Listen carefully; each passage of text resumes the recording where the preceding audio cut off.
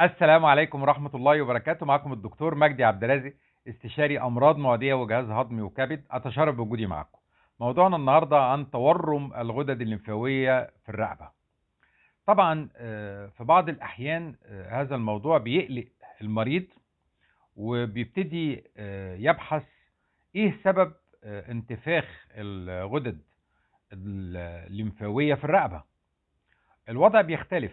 في الأطفال أكتر من 90% أو 95% آه، بتبقى آه، أسباب حميدة.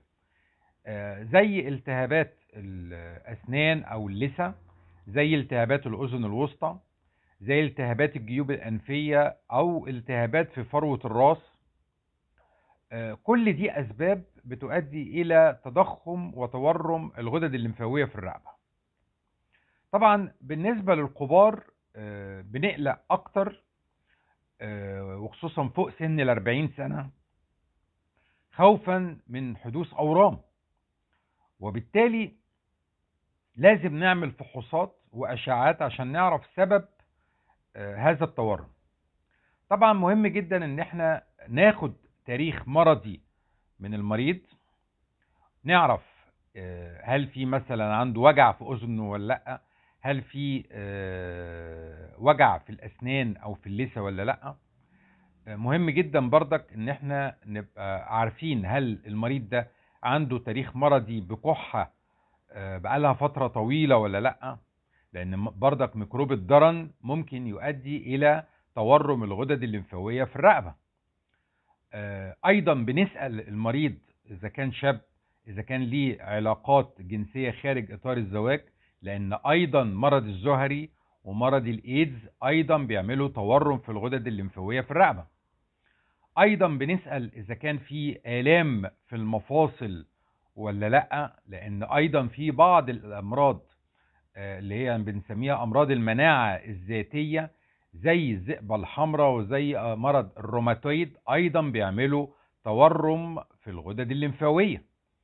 طيب آه، مهم جدا لما ناخد التاريخ المرضي نعرف إذا كان في خراج آه، موجود آه، مؤلم مثلا قريب من الغدة الليمفاوية ولا لأ. طبعا بنكشف على المريض وبنشوف هل الغدد الليمفاوية موجودة في جانب واحد من الرقبة ولا في الجنبين وهل هي موجودة في الرقبة بس ولا تحت الإبط وأعلى الفخذين أيضا.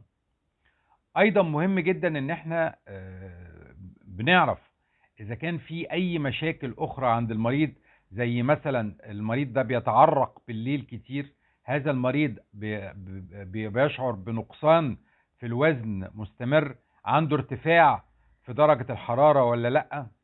كل طبعا الحاجات دي مهمة وخصوصا لو كان عنده أيضا آه، تضخم في الكبد أو في الطحال. كل الحاجات دي آه، طبعا بتفرق معانا في التشخيص. لأن طبعا إحنا عارفين إن في بعض ال- الاورام زي اللوكيميا آه، دي أورام خبيثة في الدم أو الليمفوما دي أورام خبيثة في الغدد الليمفاوية. آه، طبعا آه، بنربط الأمور ببعضها وبنعرف هل ده في تضخم في غدد ليمفاويه أخرى أو في تضخم في الكبد أو في الطحال. طبعا هذا ال- المريض بنطمن بردك ونشوف هل الغدد الليمفاويه اللي موجودة في الرقبة دي أقل من 2 سم ولا لأ؟ طبعا كلما كانت أقل كلما كنا مطمنين كلما كانت مطاطية يكون اطمئنان أكتر. بعكس لو كانت صلبة وثابتة لو كانت صلبة وثابتة وغير مؤلمة دي بتقلقني وبتخليني أفكر في إن يكون في أورام. وخصوصا لو إحنا ادينا مضادات حيوية وما استجابتش بل بالعكس زادت في كبر الحجم وخصوصا كمان لو كانت بقالها فترة طويلة أكتر من شهر أو شهرين. آه، طبعا آه، الدكتور بيقيم ال- الغدد الليمفاوية وبيبتدي يعمل تحاليل. يعني بنعمل آه، صورة دم وظائف كبد وظائف كلى وظائف غدة درقية عشان نعرف سبب تضخم الغدد الليمفاوية. وأيضا في بعض الأحيان بنضطر نعمل أشعة تلفزيونية أو أشعة مقطعية أو رنين مغناطيسي. وفي بعض الأحيان بنلجأ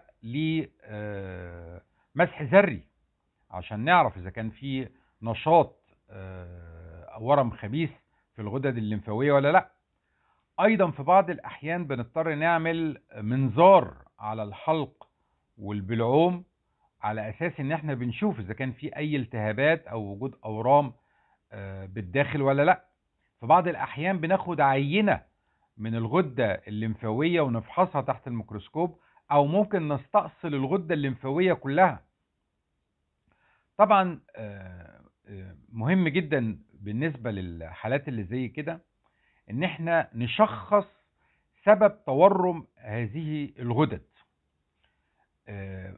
في بعض الحالات بتبقى في غدد لمفاوية موجودة في الجهة الأمامية من الرقبة وأيضا من الجزء السفلي منها ناحية الجهة اليسرى.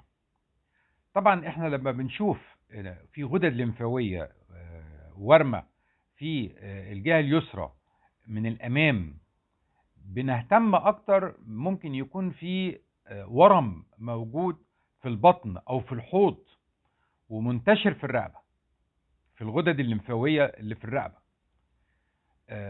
مهم جدا برضك إن إحنا ناخد بالنا إن إحنا ندي مضاد حيوي فترة كافية يعني على الأقل من 10 أيام ممكن نمتد لأكتر من أسبوعين. طبعا الدكتور هو اللي بيحدد نوع المضاد الحيوي وإذا كان أقراص أو حقن وبيحدد الفترة الزمنية المناسبة للمضاد الحيوي. طبعا في مرض آخر أو أمراض أخرى متعددة زي الساركويدوزس مثلا.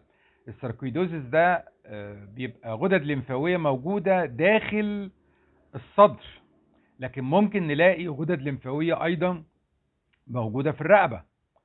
وزي ما قلت لكم بالنسبة للغدد الليمفاوية ممكن أي التهاب بكتيري أو فيروسي في الأذن أو في الأسنان أو في اللثة أو في الجيوب الأنفية أو مجرد التهابات في الشعب الهوائية ممكن تؤدي إلى تورم الغدد الليمفاوية في الرقبة. أحب أطمن الناس إن أكتر من 90% أسباب حميدة. ما تقلقش خالص إحنا بس بتزداد الأهمية لو لقينا الغدد الليمفاوية دهيت ثابتة مش متحركة أكتر من 2 سم بقى لها فترة طويلة أكتر من شهر وفي نفس الوقت لا تستجيب للمضادات الحيوية وبتبقى غير مؤلمة ساعتها بنبتدي نقلق وبنبتدي نفكر في الأورام وكده أنا هسيب رقم. الواتس بتاعي لو في أي استفسارات أو تقارير طبية أهلا وسهلا بيكم صفرين اتنين zero عشرة سبعة وعشرين تمانية وعشرين أربعة سبعة سبعة تمانية. أشكركم جزيل الشكر والسلام عليكم ورحمة الله وبركاته.